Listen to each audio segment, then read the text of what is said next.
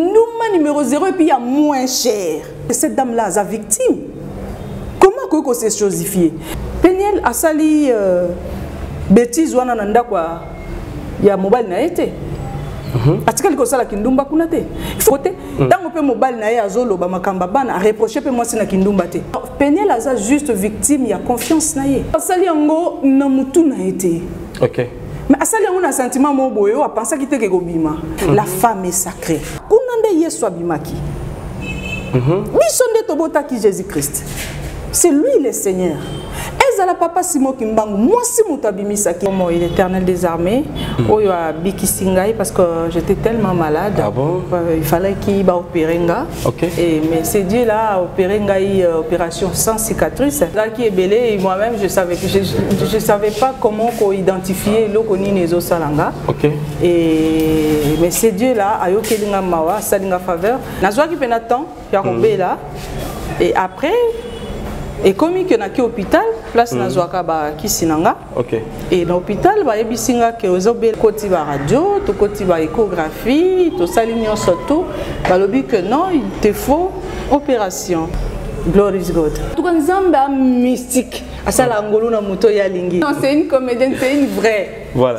C'est une personne vraie. Mm. Donc Sila, c'est une personne vraie.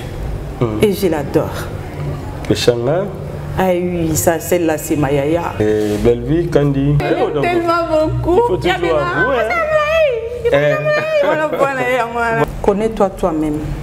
Avant moto ayeba yo, yo mokomi yeba nanu. Bandeko basi, eh, mokili eza tellement mabe.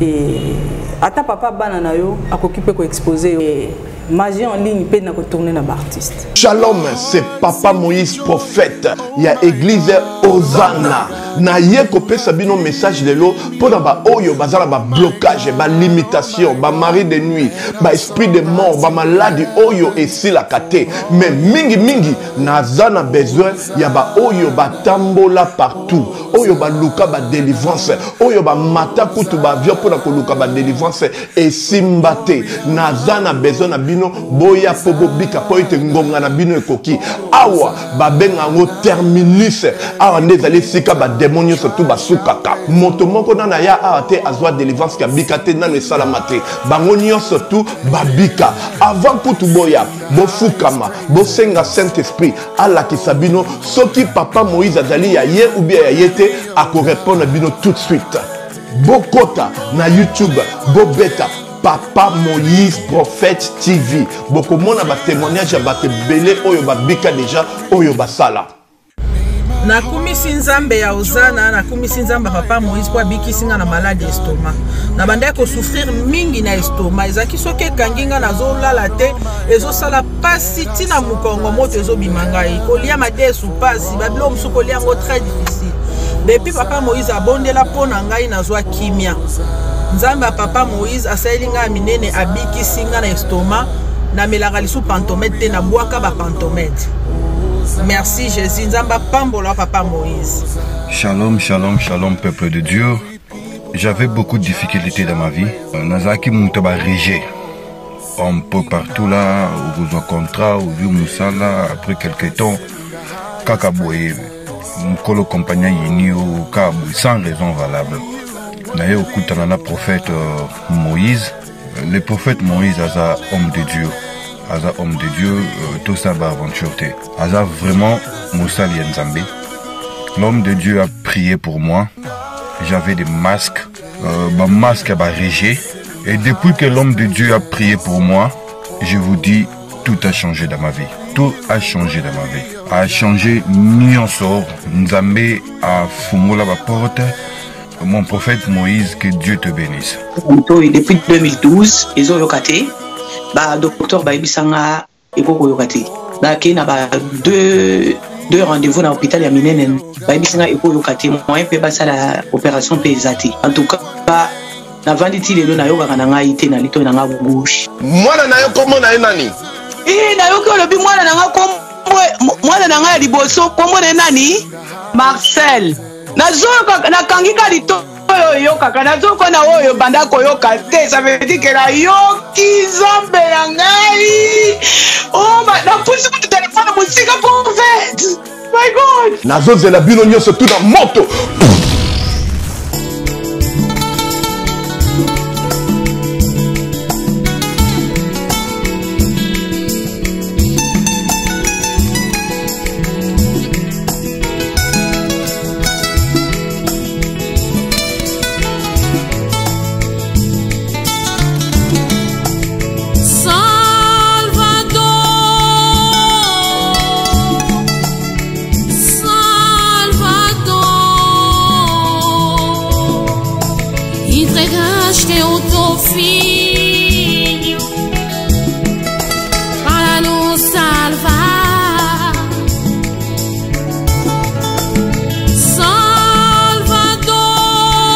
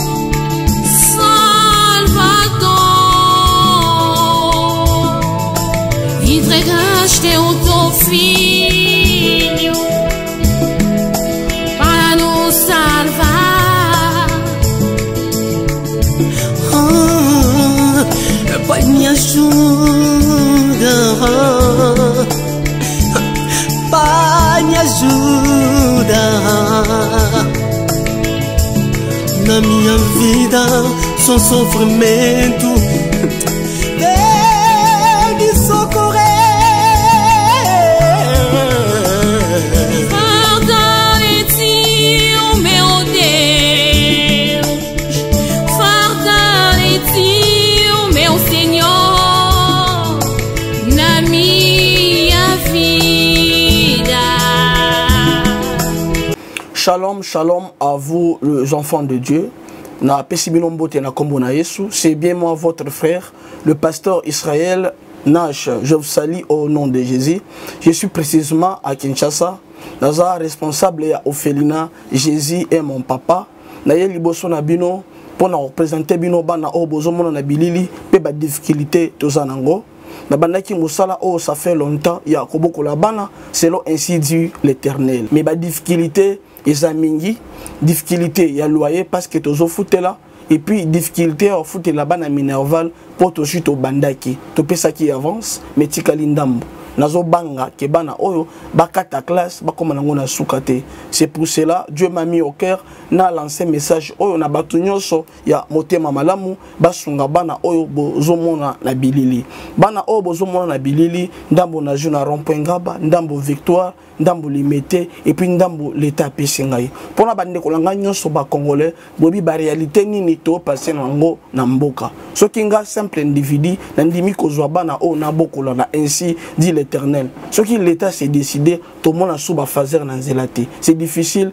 ya kosala yango nga moko c'est pour cela nazolanse appel na bana nyonso ya nzambe mpo na klase ya bana oyo mpo na loye na bango kolata mpe kolia na bango naosenga na bato nyonso baza cœur sensible mpe baza na motema kosunga basunga biso mpe basalisa biso toza na commune ya kalamu quartier kauka référence ya monene tokangami na université kimbangiste aveni nkombo na yango eza marin numero 16 numero ya telefone na biso mpo na bato balingi bacontacte biso mpo na badetail mosusu eza plus 243 89 72 32 229 voilà nous sommes déjà avec l'artiste comédienne élise salum voilà tozali awa tokosolola mo ebele par rapport ya basujet toza na yango na plateau na biso merci na assistance na yo tonton sou hein, suneta maniata merci na jérémy luemba merci na mika badjinde derrière la caméra merci na poupon du bon kata canada mon ami et na bosani te Poupon, Digbo, j'allais dire euh, Chris était mon futur, mon ami,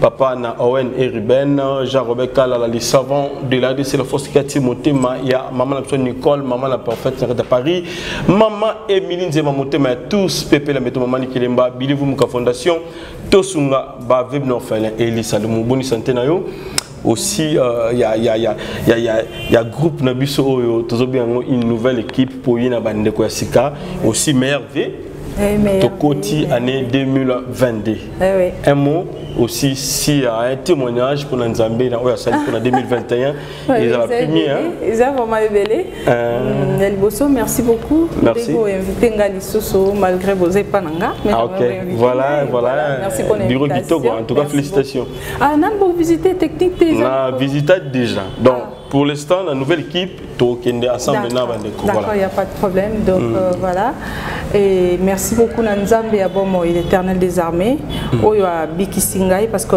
j'étais tellement malade ah bon? Euh, il fallait qu'il ba opérer nga okay. et mais c'est Dieu là a opéré ngai euh, opération sans cicatrice c'était quelle opération euh, vraiment les qui est belé et moi-même je savais que je, je, je savais pas comment ko identifier loko nini ezo salanga okay. et mais c'est Dieu là a yokeli nga mawa salinga faveur à travers son serviteur euh, apôtre Diema.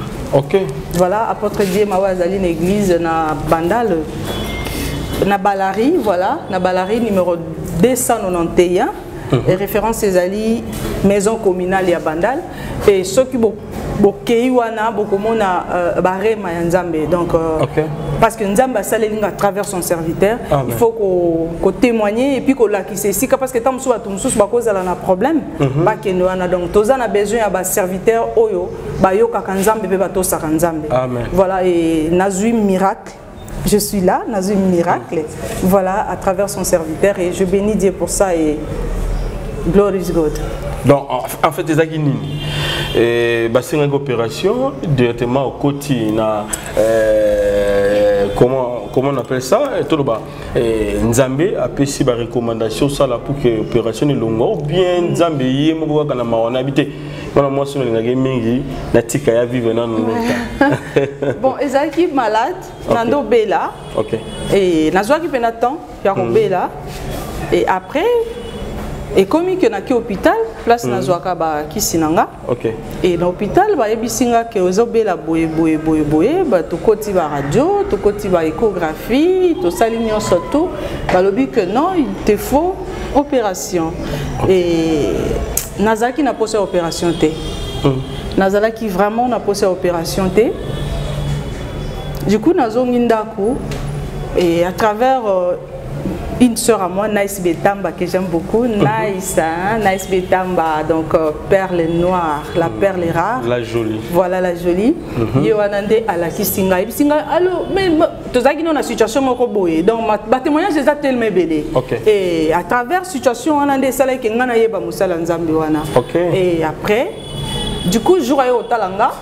bayaki mibale ah, ayebisi nga alobi tala boye tala boye eloko moko boye parce que nga déjà nakendaka prophétie te mm, mm, mm. naka trop église te mm-hmm. ke nakei église batie nga loboko nakei prophétie nake koluka non non nazalaka vraiment bongo te mais nazalaka concentré epai ya nzambe ya bomoi l'éternel ah. des armées et c'est par sa grâce nzambe atindeli ngai mosali na ye et après donc ekendeki mwa procédure et après ayebisi nga ke mama bakoopere yo te à chaque fois azobenga nga à chaque fois prière donc ezalaki prière te ke o oh, jeune e prière en tout cas nzambe a mystique asala ah. ngolu na moto ye alingi e alinga makasi voilà ah, donc c'était pas ke o oh, jeune e prière et tout mm-hmm. ezalaki juste connexion e na kati ya connexion wana ekutaki ngai mpe nazalaki na jeune et prière ya nga moko en dehors ya makambo ya prière ya, okay. ya, ya, ya pasteur okay. Hmm. e ntango ayaki on a prié on a prié e azo prié mpo na ngai na téléphone chaque fois chaque fois du coup nayokaka susu eloko yango te du coup ekomi oyo ee du coup ee nabiki okoti radio encore nabiki voilà ça c'est bien en tout cas Euh, soki toyebi toloba bilan ya elisa 2021 mhm. euh, tokoloba eza positif oui parce que nabiki parce que na, na, na lekaki na nini opération te mm. parce que dieu m'a délivré parce que nzambe azocontinue kosala nga bagrande voilà. chose kote mosala alors kote mosala c'est bien parce que okuti entreprise ezali awa okay. e, eh, nzambe aza na biso nzela nzambe ezalaka facile te Ça c'est bien. Eza te ko yelelo bongi lobi. Mhm. Non, mususu pa ko yelelo bongi lobi. OK. Eh mais eza pe na mususu il faut obondela. Il faut nzamba sentir que yo nde mutu na ye nzamba témoigner yo. Mm, mm, mm. Voilà. Ça c'est bien. Souhait na on a bandeko 2022 yango déjà tout percé hein. Donc voilà une nouvelle année. Bonne année na bango. Voilà.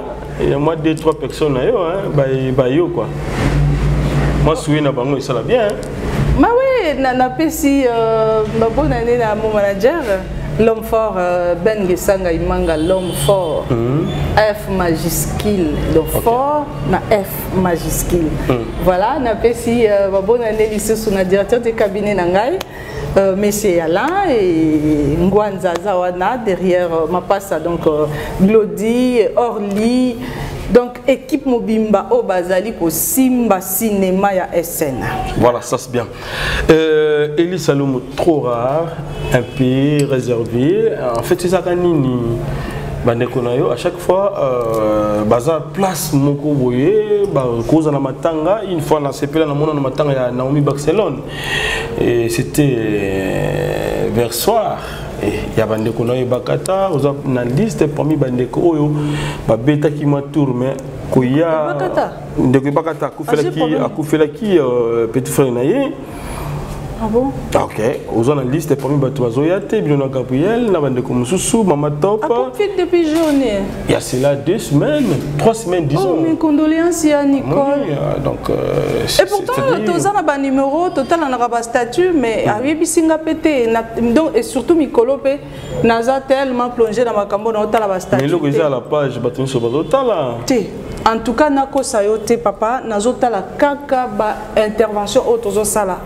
ya SN télé SN mm. cinéma donc okay. biloko mosusu bandeko mosusu nazotala te parce que mm. naza nanu concentré natala bavideo na biso nayebaki te trop réservé ezaka pourquoi méfiance wana euh, c'est comme c'est comment na baartiste ah, na bandeko na yo condoléance ma grande sœur chérie mm. oui. non c'est ma nature réserve être réservé c'est moi c'est ma nature mm. nzambe azalaka réservé mais lelo ebimisa yo trop fier vantarde moto ya lolendo lokola azalaka kitoko lokola azalaka bien mwa bozwi wana ekomisa lolendo ebele topesa bandeko na raison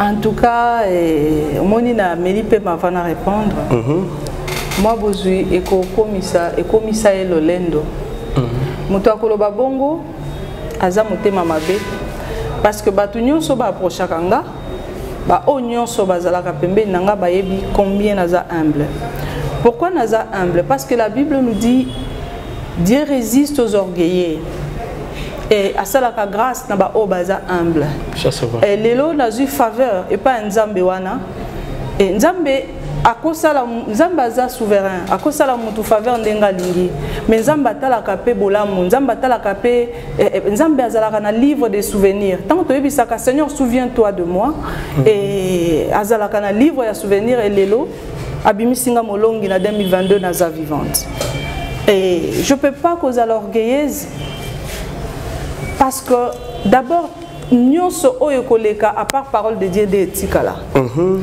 alors nazala orgueilleuse neti na nini par exemple lelo naza orgueilleuse na iphone 9 euh, iphone 10 ekobima esi ebimaki 10 esi ekei tokomi na 11 11 ekei tokomi na, na, na, na 12 12 13 lelo nakomi ozela 14 okay. ozomona donc c'est à dire que eyeleka na yango biloko yango eyeleka 14 yango mpe naozwa naozela soki mpe nasimbi yango eke nango mpe susu mm. donc c'est-à-dire il y a pas ya ko se faire orgueilleuse ou orgueilleux na biloko oyo moto azosala mm. je peux pas ça c'est bien mais nazalaka fière mm. Eh, eza ndenge na nga ozala kitoko oza fier oui nzambe akelaki nga mwa elongi mwa molai malgré mm. nautai ko mwa ba eh, na ye monene eh, nzambe akela nga mako molai mm. akela ngai mwa zolo molai mm. mwa miso esalaka boye mm. je plie eh, naka makolo x ah bon oyeba yango mpe ah oui koto bafinga yoka yango wana voilà ça c'est voilà. bien naza makolo x donc defo ka yango wana kota makolo x koto mosusu nazaka na tolo monene hmm, te eh, wana tosu donc eh, nyonso nzambe apesanga naza euh, fier na yango hmm, gina donc ye kotourna déjà comme donc on a plein donc voilà. bina filé déjà voilà hmm. nazalaka mm. Gina Mungita eh kampote me eh, ah ya voilà pote ya solo solo en tout cas na saluer présence ya star munene ya mboka na biso Sundiata hmm. Maniata voilà vraiment na saluer présence d'ailleurs aza à na droite na nga oh bayokanaka na bato te eh. bongo Sundiata Maniata oyo aza en face na ngai aza nani Eh, aza ikone ya mboka na biso te hmm. oui aza ikone ça c'est bien voilà. alors nalingaki tozonga mwa moke orgueil mm. nangi nakata voilà. na mokuse orgueil nazalaka nango te mm. mais nazalaka fier okay. Ay, parce que nzambe akelaki ngai soki ngai nasali fier te na na yo osala fier na place na nga fier okay. partout na bible place moko bakomi fier eza lisumu eza te mm. mais orgueil je peux pas eh, papa nzambe alongo abikisi ngai yo ndenge na ndoka mm. eh, nzambe abikisi nga nasala orgueil ya nini voilà ça c'est bien alors euh, eli salumu alingaka excellence mingi azali mwa mwasi alinga euh, babiloko oyo ezala toujours na mwa excellence na kati obanda na filme moko kitoko 365 jours mhm. oyo lelo etia bandeko ebele pandi likolo ngai natala filme na biwao mwana mwasi oyo mhm. atouche mitema ya ba nigériens oui. Ben, sibitima olimwi otiki na yo makambo yango epai ya bandeko bellevie otiki yango epai basila bisalu mais tandis que aussi exil pechanga mpo oyo oyaki mwa na excellence yango liboso na bango mais nayebi te kotika espace wana nyonso promotion wana kofelomide meme asalela yo edango tosolola mpe lisolo ya relation na yo na kofelomide ben kotika filme kitoko ndenge wana ekende comme euh, tokoloba mpe inaperci 365 jours bon euh, l'âge aussi ça fait partie de la mat de maturité hein? okay. âge ça fait partie ya maturité donc mineur euh, nazalaki na age oyo na nango lelo te mhm. et puis euh, nazalaki na équipe oyo naza nango lelo te okay. donc c'est à dire équipe oyo na nango lelo Mhm. bakotika jamais alors jamais natika evre moko boye bongo Okay. parce que wana nazalaki nanu age ezalaki moke makasi parce soki tobeti lisolo ya 365 jours ebakisi combien d'age likolo na ngai ebakisi 6 ans 7 ans 6 ans 7 ans oui 6 ans 7 ans likolo age oyo nazalaki nango mhm. donc euh, c'est à dire euh, maturité ezalaki nanu moke par rapport ya mosala Okay. ya bomoto ya kibomoto te parce que na kibomoto maturité na ngai ebanda depuis naza bebe mm. mais na ndenge ya mosala e nazalaki entouré na bato te oyo bazosoutenir nga vraiment ke simba boye sala boye omoni okozala yo moko mm. mais mm. euh, motu ye moko okokena yo okose mm. fatigue mpe na nzela ovandi mais soki oza mibale bokobosana mpe mm, mm, mm. obosani o oh, tokomi matete ndeko mwana musi yango ah, tokomi matete ti tokomi mpe njili ti biso na tokomi aéroport ok donc c'est ça maintenant là et dieu m'a fait grâce et naza entouré et accompagné na équipe moko eza vraiment fort par la grâce de dieu ils sont là et on va arriver voilà Idée d'abord conception il y a film wana. Wo wapi? 365 jours. Ah, oui, ezaki idée nanga. OK. Eh oui oui, ezaki idée nanga écrit par nga dans l'équipe nanga Joyce. OK. Voilà. Ah Joyce, hein. Eh, la PC en botte belé. Voilà. Et ezaki bongo et puis to to réalisaki film yango ndenge wana e sujata manyata mpe azalaka oncle na ngai bete eloko wana mais sikoyo sentiment ya bomwana ezalaki na nga maturité par rapport ya mosala eh? mm. noloba bomwana na mosala mm. voilà e, epesaki ngai kanda na makambo mosusu nalobi bon kesa so parce que film wana na dépensa plus de 10 000 dollars ah bon ba voyage na nga ba déplacement nazalaki nakendeki afrique du sud tournage mm -hmm. Le, euh, hôtel et tout et tout nakendeki dubaï tournage hôtel makambo nyonso tututututu et après maman gina amatu mpe asungaki ngai na okay. dubaï mwasi ya papa aron voilà ye mpe asungaki ngai na dubaï maman gina mwa gina de mon cœur voilà et bah pendant une année ya tournage mm. transport ya bato ezali na compte na ngai parce que tournage tobanda kokende et à part papa sundiata azali na voiture na ye abanda oya na motuka na ye moko mais bandeko mosusu tozalaki obligé tolandanaka na mituka pour que tozala temps na tournage c'était pendant une année ya tournage mm, mm, mm. ouais. tournage esalaki 365 jours mm. c'est à dire tozotala na tournage na montage ezwaki biso une année okay. donc kolandana na batemps wana nyonso tu nabanda makambo oyo lelo te hmm. donc c'est dans mon esprit kokomisa eloko kitoko ndenge olobi c'est dans mon esprit voilà. Voilà. Excellence on est le tikali pa ba Bellevue, tikali pa ya Peshanga et pa ya ndeko Sila. Oui, je en fait, bénirai Dieu pour euh, na bango, le baza ko est vrai aussi très bien. Je bénirai Dieu La même idée euh, euh, oyo bozaki nango voilà. Non non non non. On azala ki nango te parce que naza vivante. nazo pambola mais po otikaki temps lelo bandeko bakomi koemerge kitoko nazopambola nzambe mpo na bango parce que mhm. baza toujours kosimba drapeau ya congo mhm. et comme ezali mpo na avancement ya, ya, ya drapeau ya congo na monde ya cinéma mhm. e ngai nakobetela bango maboko epuis nakopambola nzambe mpo na bango epuis nakosengela bango longue vie okay. voilà mpo na ndeko nosi lokoyebisa ye nini je l'aime beaucoup mm. Beckham.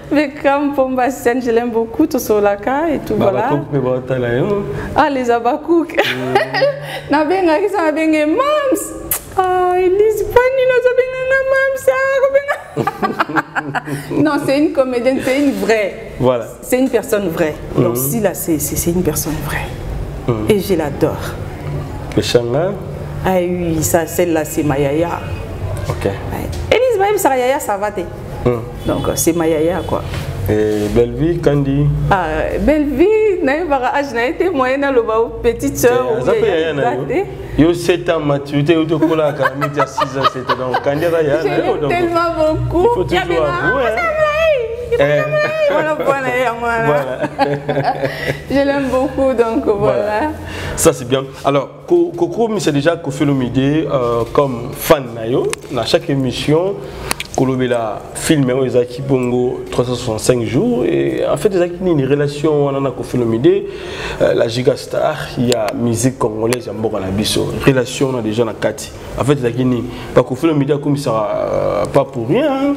euh, kofilo midi akomisaka n'importe quoi te okay. alors euh, en tant qu'artiste hmm. visionneur mm. leader okay. akomisaka eloko amoni leadership eza na kati ok donc euh, c'est ça puis leadership yango naturel hein? ya kobotama quoi voilà charismatique quoi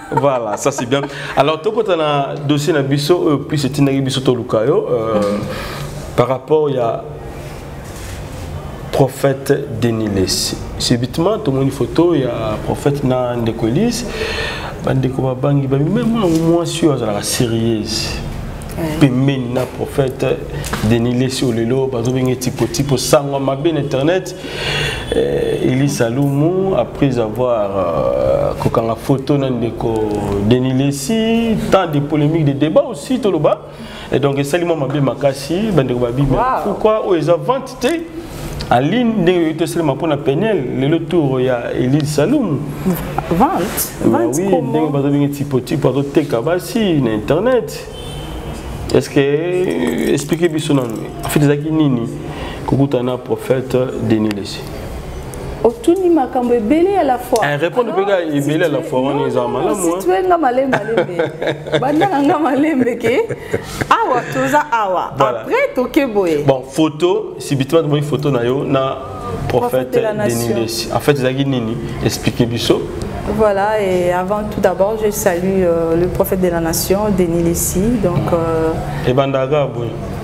Mm -hmm, voilà, et l'homme de Dieu. Donc voilà, au moto nous avons benga kaye mwana na ye, mhm. pe musali na ye. Okay. Na pe c'est vraiment bambote place azali. Et photo ezali pour un film.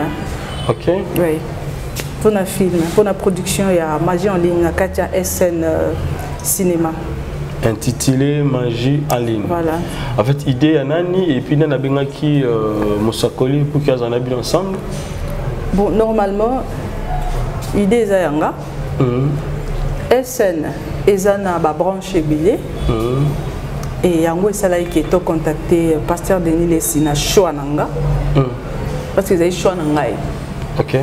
voilà na choix na nga alors euh, nde tocontactaki pasteur denis lesi choix na nga mais bacontacte parce que ezali euh, entreprise voilà mhm. na moto aza na tâche na ye yango wana tokutanaki na eh, le prophète de la nation denis lesi voilà role nini opesi ye na filme wana selon yo soki oza role nini na nga fo opesi kaka paster prophète aosakola mpo na mboka so mpena okende à côté eza mwa mabe na scénario soit na film e, moto aboyaka role te nakanisi ene na ngai sundiata maniata aza wana role nyonso eza role baboyaka role te eza bongo te papa sundiata voilà baboyaka role te role tout eza role parce que eza personnage mosusu mm. donc d'abord ajoue mpe na nkombo ne deni nesi wana te mm. neti ngai elise na joue na nkombo na ngai elise te mm. ye opesi ekomi petage eza personnage mosusu donc eza histoireetipotipo so osaleli tipotipo wana eza mpe na mwa impact eza boye eza lokola mm. ngai elise nde naza koincarne role moko boye mm. nakomi ntango mosusu mwana mobali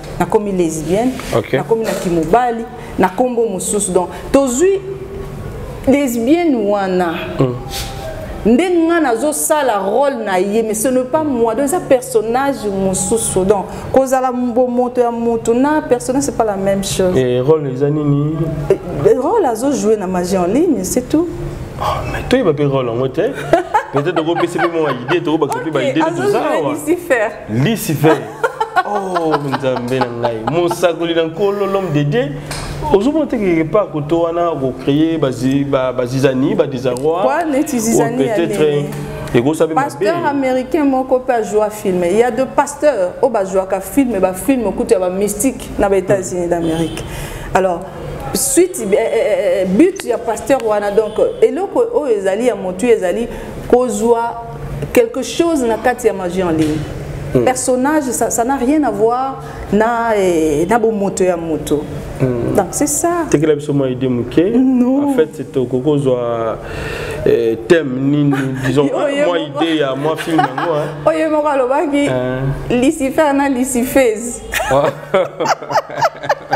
abengai nga lucifer ah. vraiment voilà et eh, tokozwa mwa idée ya film yango pourquoi aussi euh, tozala nango na idée ya réseaux sociaux tozala nango idée ya film eza te hmm. idée ya film ezali bozela bokodécouvrir yango okay.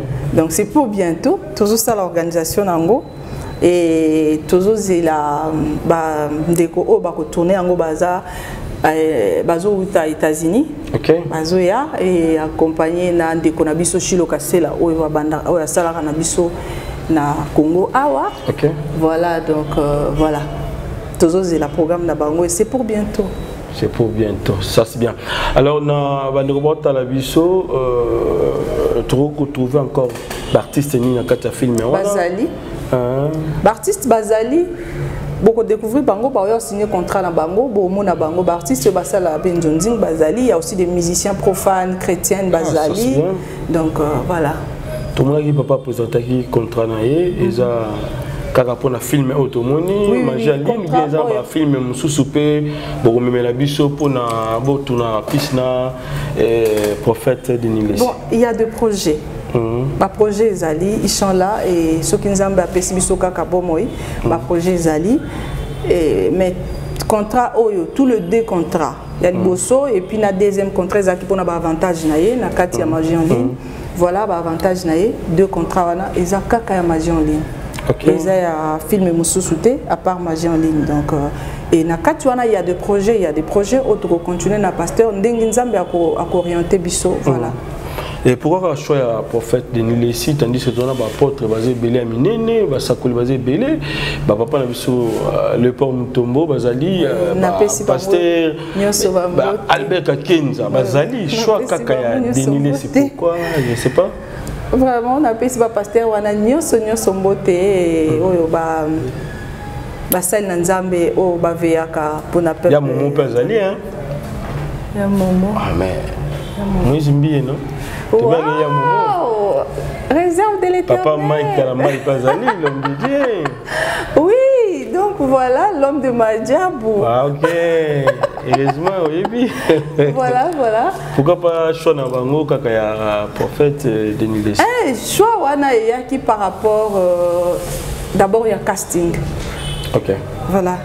casting oyo tozalaki na yango imagination oyo tozalaki na yango c'est à dire quoi e nzambe akelaki mokili na kati ya imagination alobi faisons l'homme à notre image mm. alors mpo na casting na ngai so otali bafilme na ngai nyonso parce que olobeli kaka 365 jours likambo ya mabele so otali yango omonaka casting c'est waouh et otali temps casting nango eza eza vraiment wow alors par rapport ya casting wana donc toponaki nanu prophète de la nation mpona mm. casting na biso c'était ça lelo papa abima na image ya mabe ya koteka bana basi ndenge esalemaki mpo na peniel lelo motakala ya peniel médiatise est ce que elobi te tour ya elisa lumu ebangisa biso tozala traumatise Ah, oui, question, mais t'as pas vous a traumatisé, hein? Eh, traumatisé, vous pouvez vous en sérieux, vous pouvez vous en sérieux, vous en sérieux, vous pouvez vous en sérieux, imaginez. Bon, en tout cas lisolo oyo nakanisi nauti korépondre mpe bandeko mosusu bayambaki ngai okay. lisolo oyo nayebi yango telema na katikati moye nakota ebele eza te parce que mm. ce qui m'importe moi en tant qu'une femme et une femme africaine congolaise en plus je dirais que batika kotraumatiser cette femme là mm -hmm. je ne suis pas là pour défendre Péniel, mais nazo défendre la femme africaine, la femme congolaise. Mm -hmm. Ça dure quoi Na pesi exemple moko na Côte d'Ivoire. Mm. nasi napesaki yango e eh. mais comme epai na yo ekomi te yango nazokomisa ok na côte d'ivoire un monsieur là ayaki na émission na mannequin moko boye azolakisa ndenge aviolaka bafille abandaka koviole bafille mm. je pense bien que basi nyonso ya média mm -hmm. batombokaki bastar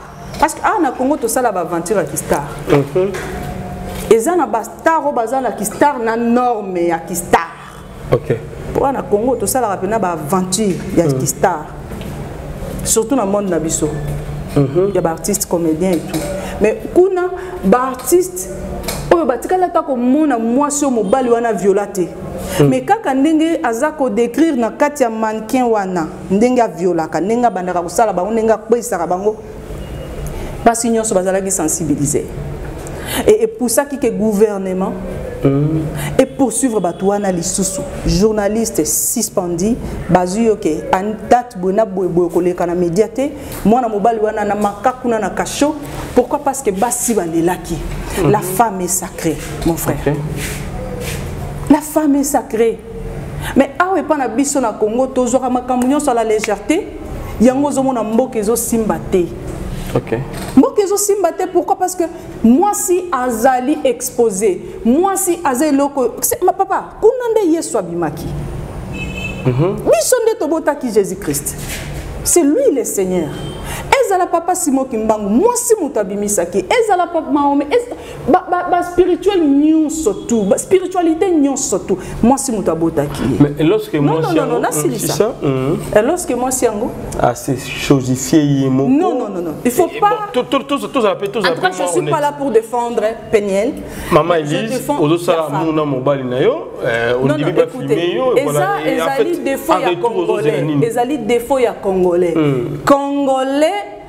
akozala aza moyibi makasi mm. ndumba numero 0 epuis ya moins cher mm. mais soki amoni moninga asali erreur mm. akozwa mabe na wana telema bamonaki yango ti bamonaki okay. makambo asalaka te bamonaki ndenge avivaka ka wana na vie moko boye ya ya, ya, ya, ya, ya, ya inconscience telema bamonaki yango te azwi moninga abambi ye libanga bavideo eza na bandako ya bato na batelefone na bato mpo nano ebimi libanda te mhm. alors koloba te kasi echosifiaki parce que cette dame là aza victime comment akoki kosechosifie yo olingi ngai nono écoute écoute mm, monsieur yo olingi ngai mm.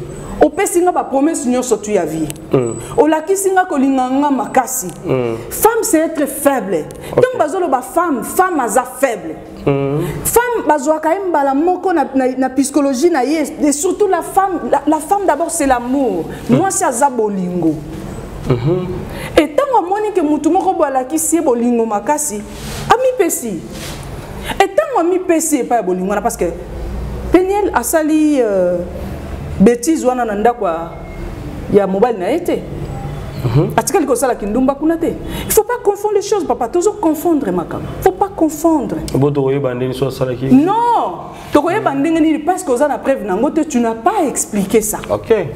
donc biso na yo to na raison te non non non non yoka na yebisa yo non non bozoloba oyo bozomona mais oyo biso tozomona tomoni ke na ndako ya, ya mobali na ye tomona video te tomona eloko moko te mm. ntango mpe mobali na ye azoloba makambo bana areproche mpe mwasi na kindumba te mm. de le début mm. ok alors ntango eloko ya bongo esalemi moto na moto azosenga video moto na moto mais quand même valeur ya mwasi aza victime batika otraumatise ye c'est tout mm. est ce que ekoki koarrive osala video comme ça non non moi je peux pas le faire parce Pourquoi? que déjà expliquer biso na nous non naza na explication nango te oyo ezali motuya mm. eza que respecter la femme voilà est ce que yo ekoki kokoma mpe un jour obi ah nga mpe nasala video moko mpona sepesa mobali le problème d'abord c'est quoi ya kosala wana eza fantasme ok ntango mobali alo yango nauti koloba na yo hmm. mwasi soki mobali alakisi eke alingi ye asali ye confiance donc penel aza juste victime ya confiance na ye okay. asali confiance Hmm. Et tant que ça, les moutons confiance, c'est intimité. Kuna batu ba koma te, eloko yango ezalaka bien ka soki bwa bino mbale. So hmm. ekomi libande ekomi mabe. Donc tant que ekomi libande nde ekomi mabe. Mais na ndenge ya bomoto ya normal, eza eza esengo na bango selon penel amoni ke non ntango mosusu soki baza na mobali na ye parce que je défends pas penel mais je défends la femme ok, okay? ntango mosusu mobali akozala ye moko olie ke peut-être abanda ah, otala ozo comprendre mm. Eh oui eza nango eloko ya mabe te mabe nde ndenge aza victime alors au lieu de traumatiser euh, cette femme là ça ne sert à rien ya kotraumatize ye to respecte mwasi mm. mboka ezobonga te omoni bamboka mosusu biso awa toza ka gouvernement gouvernement gouvernement mais tozoyeba mpe te ke la femme wapi esika ya mwasi femme congolaise aza wapi hmm. est ce que nde ngai neti nga babiloko wana natala yango te ah bon?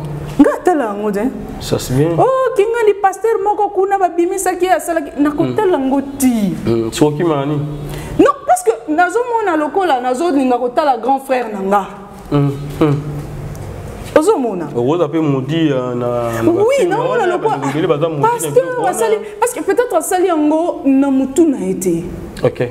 mais asali yango na sentiment moko boye oyo apensaki te ke kobima mm, mm. ozo comprendre ntango moto asi arrange na nzambe yo oyeba te il y a deux choses nga atala yango te eloko naotala grand frère na ngai aza motakala notala te même biso ndenge biso balakisa biso totalanaka mitakala te ata mwasi mwasi biso meme nga grande sœur na nga place aolata nga na okota te parce que sexe eza sacré nzoto ya mwasi eza sacré mm. soki nanu tomeki korespecte la femme na congo bokomona changement na congo tokomona changement na congo emona eh, bandeko basi bana habitude wana na baoyo mpe peut-être Euh, bazalaka na esprit toujours ya kotindaka bavideo epa mibali oyebisa bango nini est ce que il faut bachanger comportement ou bien baza na même ligne mais basala yango autrement ah, le cœur de l'homme est tellement mauvais mm -hmm. que nakoyebisa bandeko wana okay. baessaye mpe kose ressaisir parce que mokili ndenge ezokende mm. toyeba su te nani aza nani okay.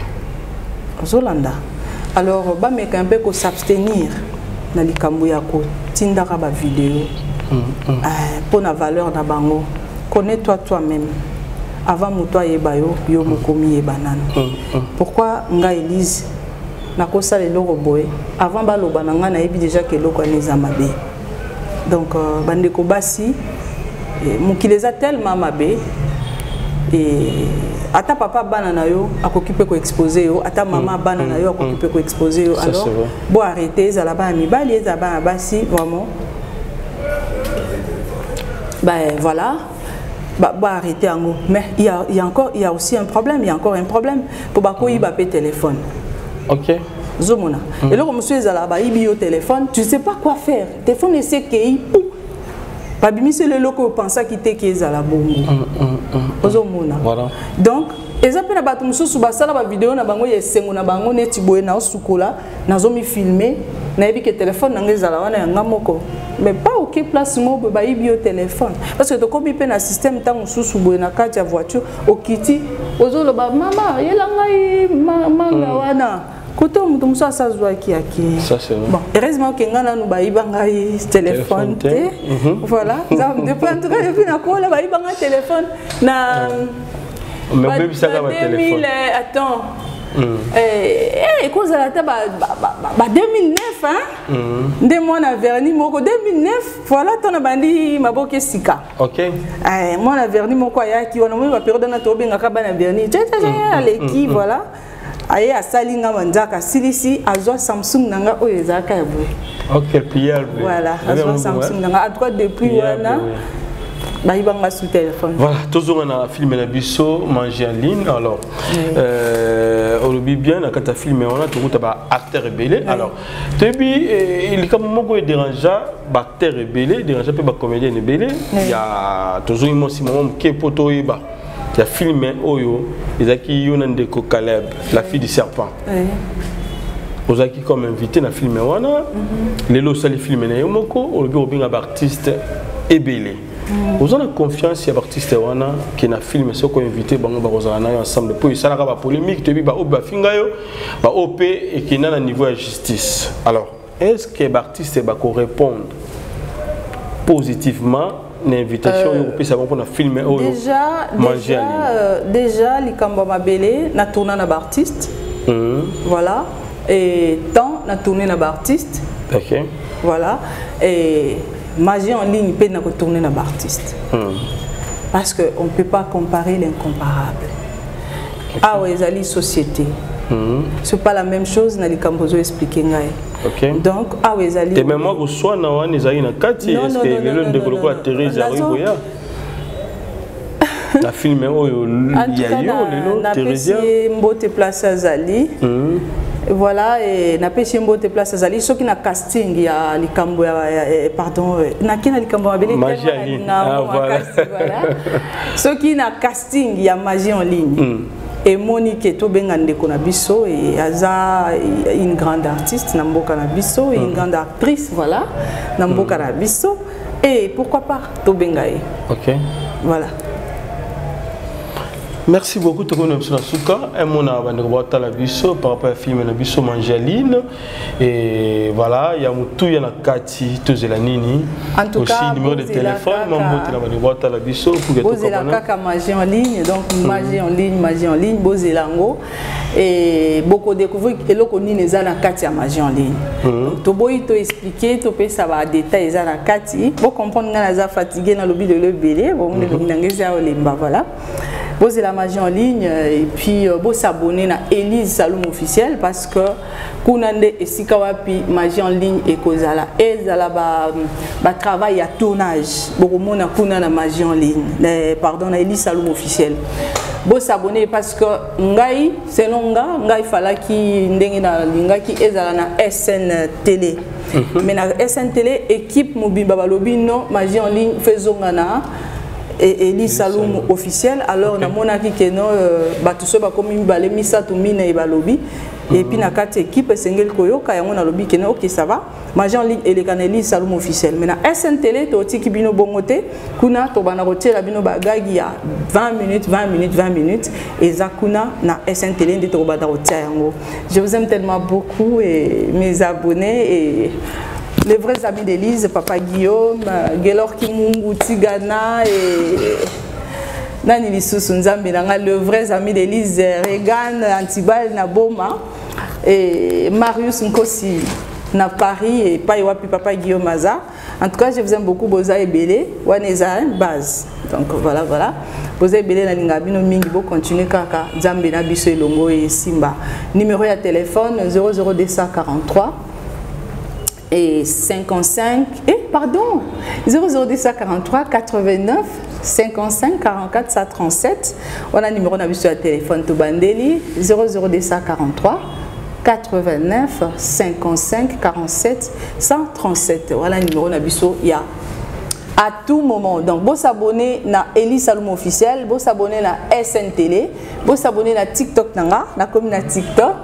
ça fait 5 jours okay. nazwi tiktok mais nazwi mm. euh, bavue kuna na babone na babone oui okay. nakomi eza naza na bavideo mosusu ba 10 000 baozaka aime voilà ba 50 quelques mille d'ici là déjà 60 000 ekoka mm. vraiment merci beaucoup na baabone na ngai ya tiktok na bandeko nyonso bazotala ngai na tiktok mm. e na twitter na ngai mpe Vraiment, en tout cas, naza na besoin na bino na Facebook, Instagram, euh, oyo oh, azali chargé nango ezali euh, Orly, voilà, je vous aime bien. Mais nga mona bande de répondre parce que Elise, mm, mm, nga mona de répondre malgré Orly aza na Voilà, et maison de production la c'est ça uniquement pour les films na yo moko bien ezali te kozwa Non non non, maison ezali maison ya production tokotala film na yo ko emporter les bisonini parce que ça business. okay. totali ndenge eloko nini ekoimportele biso baacteur nini okoyela biso bango maison mpe kopesa yo banani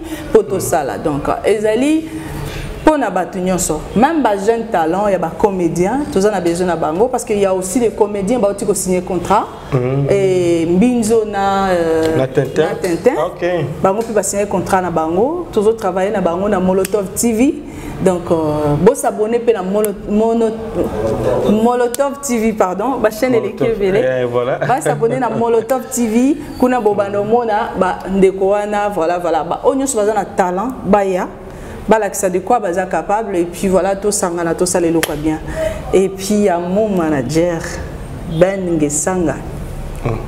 avec euh, force quoi donc euh,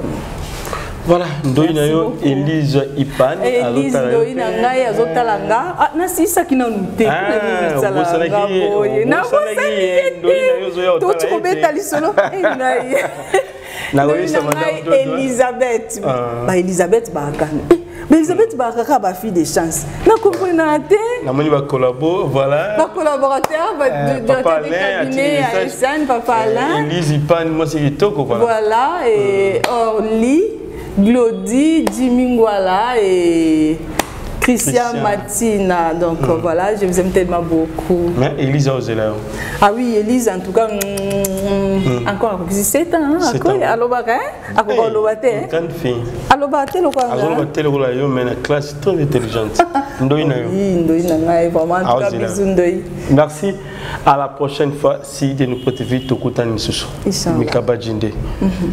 merci non c'est une comédienne c'est une vraie voilà c'est une personne vraie donc mhm. si là c'est c'est une personne vraie